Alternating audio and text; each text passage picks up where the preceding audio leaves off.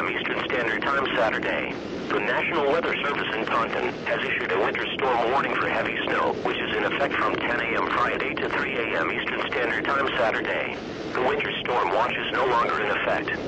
Snow is expected to develop from west to east late Friday morning and early afternoon. The snow will become heavy not too long after the onset. Snowfall rates of 1 to 2 inches per hour are likely from mid-Friday afternoon into the early evening.